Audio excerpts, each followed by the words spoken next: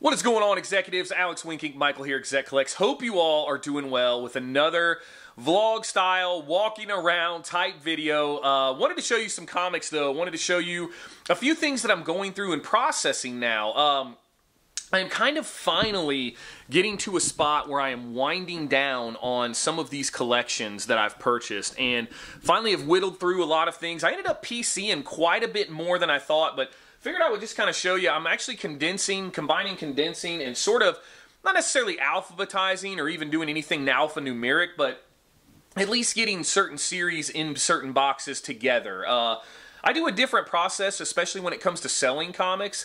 The way that I sort of build mystery boxes and things like that uh, comes from a, a pretty I, I, don't I don't think it's like a, a, a, defining process or anything like that, or a groundbreaking one rather. But I use a different methodology. But let's come home over here and we'll kind of show you guys a little bit of what I'm talking about. So right here, this box is a Whatnot show box. This is ready to go. This is the show actually. Uh, this will be I want to say last Friday's show if I'm not mistaken, depending on when you watch this video, but. Um, this show is ready to go. I've got it preloaded. It's good to roll. Now, I'm going to flip this camera here and just kind of show you guys some of the uh, other stuff that I have. Now, some of these collections that I get, uh, as you all are aware, are not all bagged and boarded. So down here is a lot of long boxes that I'm still sorting through. There's not as many now. Finally, I've gotten through gosh, I've gotten through tons and tons of long boxes, but these are kind of where I've landed on what to keep. Some of this stuff I will bulk out. Uh, selling comics in bulk is still a, a good part of my business, and uh, I, I, like doing that, obviously, but some of this stuff I've decided to hold on to. Now, this is like a substantial Fantastic Four uh, run. I mean, I don't know that there's a whole lot. Well, there's a 194, but I don't know that there's a whole lot of like big keys in here. I've sort of just bulked them out, you know, just kind of put them all together. There's a 256. I mean, really good stuff here. A little 60 cent goodness on that. I mean, I need to get these bad boys bagged and boarded desperately, though. But as you can kind of see, this is sort of what we're dealing with here. Uh, what do we got here? We got a 268 that the camera's not focusing on. Got multiple copies of that. Uh, kind of cool to get a newsstand, but these things are in pretty good condition for the fact that they're not bagged and boarded. Uh, we'll kind of step over here. Love the anniversary border on that bad boy. a little bit of incognito thing. You know, 329, 334, 35. Uh, there's obviously uh, multiples of some of these, but I mean, I've got a really nice run. Now, again, not all of these are, uh, you know, we're not into like the meat and potatoes of just the Fantastic Four amazing keys. I wonder what's in this box. I started sorting, oh yeah, this is all Avengers, I want to say, yeah. This is all a bunch of Avengers here that I have, and again, a lot of 75 cent and lower is what I kind of look to do. Sometimes I'll keep some dollar issues depending on what they are. This box here is a little bit more modern stuff, I think. Uh, maybe not. There's a couple Hercules ones in the limited series. Another Hercules one, Prince of Power.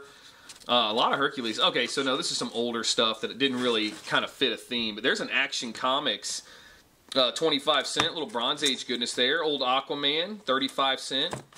Bronze Age. I mean, not too shabby. Right here, these ones that are blue taped up, these are actually full runs or even like story runs.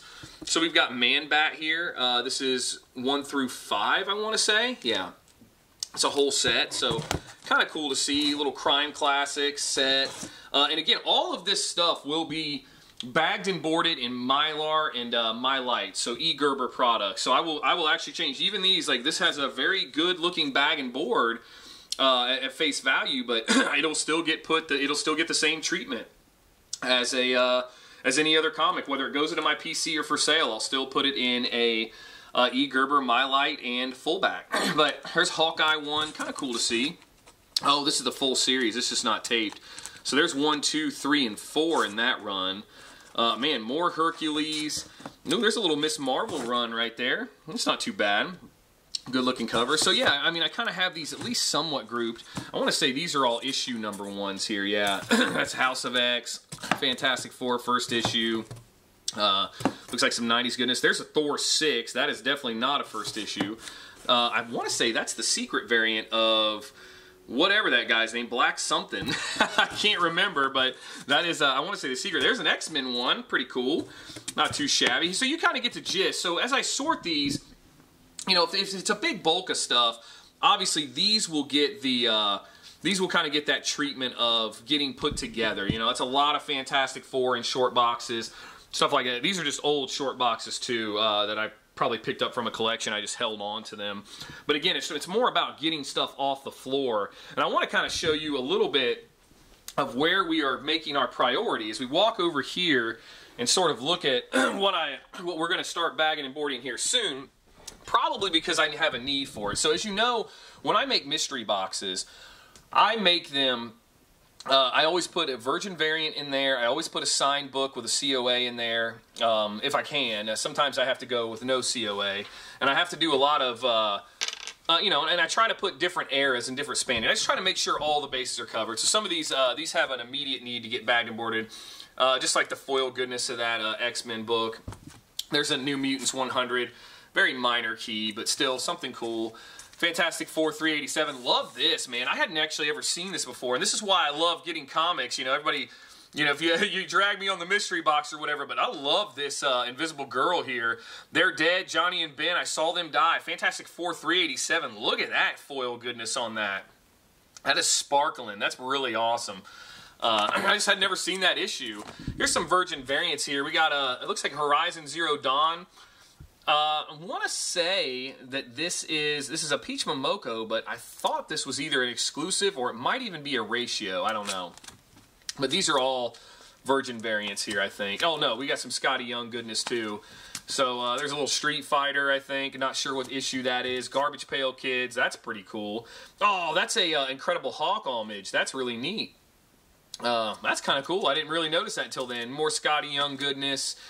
Uh, ooh, we got a little Venom Virgin variant here, like that. But again, these are over here to get changed out for bags and boards. Uh, okay, there's a lot going on. A little Hawkeye going on here. And then over here, we actually have some signed books here that we're just going to get changed out. Little Slumber. Um, looks like Vanish number one. That has a COA. Ninja Funk. We got some Ninja Funk. Look at that. Signed Ninja Funk. Street level hero. There you go. Yahtzee, the big winners here. But you kind of get the gist of what we're doing.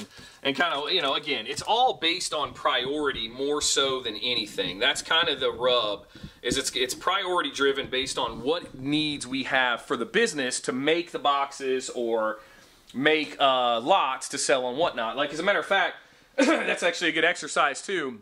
Obviously, clearly I didn't have a plan when making this video, but this is a good thing to show you. Uh, as we kind of go through this, I want to show you kind of what a whatnot auction lot looks for me. So I try to make themed lots. That's sort of what I do. So like this first one here is just, you know, stray dogs, dog days. This is a trade and virgin variant.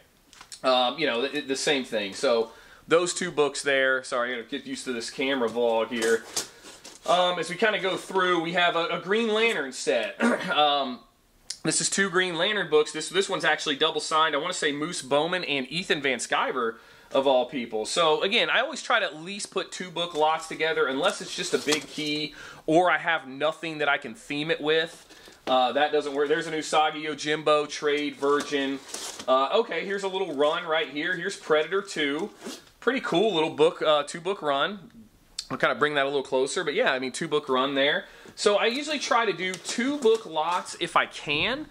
And then sometimes I'll do like three and four if it makes sense, if they're themed. And then obviously I'll do runs as well. So I could do, uh, um, again, I, I, could do like a story run. If it's like a four or five limited issue series or whatever, I would put those together as well. Um, and that's sort of how I theme them. And then I'll space things out sort of based on how I think the show is going to flow. So there's a lot of intentionality behind that uh, with what I do. And, you know, so I'm going to start with some of this stuff that's a little bit hotter than normal, but not super hot, so you don't get crushed when you're doing a live auction. And then you kind of build into the better stuff as people get in there. Uh, it's kind of what my experience has been a little bit. But again, there's no proven formula uh, of success. I mean, whatnot is what it is, and uh, you can you can get crushed or you can uh, you can be a winner. I mean, there's just no there's just no really in between. It would appear, but yeah, I kind of feel like that was a good little screenshot of sort of what I do, at least some of the methodology, the method behind the madness. Uh, as I sort of look back at like live selling and like what I'm doing, I'm not entirely sure what direction I'm going to go in. You know, this is the first time that I've been this close to the finish line as far as collections go. Uh, of getting through them, and it's kind of a good feeling because I've been under the weight of just so many comic books forever. Uh, so I'm not entirely sure if I want to continue to add to those positions or what the, the next move is. Sorry, I want to get this camera kind of away a little bit. So I got to kind of figure that out a little bit. I got to kind of see what direction I want to go. Uh, I know I want to tone down the the shows uh, quite significantly.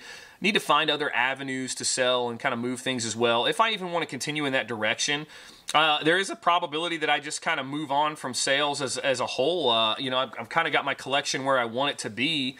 I've added quite a bit of PC books from these acquisitions, so you know, I'm, I'm in that same collector's conundrum that we all are in. Uh, versus do I buy, do I sell, do I let some stuff go to get better stuff?